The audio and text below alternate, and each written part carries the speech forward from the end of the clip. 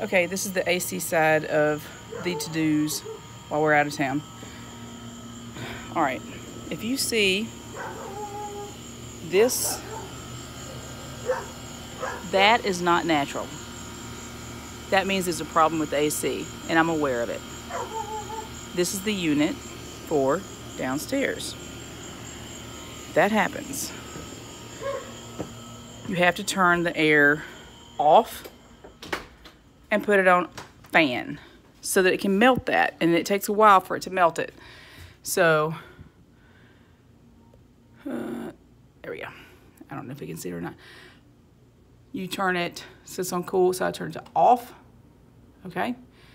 And then it's on auto so I put it on fan.